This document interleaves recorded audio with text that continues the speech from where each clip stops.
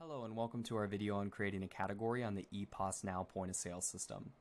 Start by logging into the back office and navigating to the Manage button on the left side of the screen.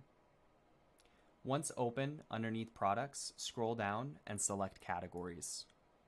From this view, use the Add Category button on the top right corner of the screen. To begin, start by adding in the category name and selecting the parent category to adjust where the category tile is located on the till. If needed, changing the report category from its default allows you to combine this category's reports with another. And by selecting the order printer slash display option, you can choose where this category's products will be sent when ordered.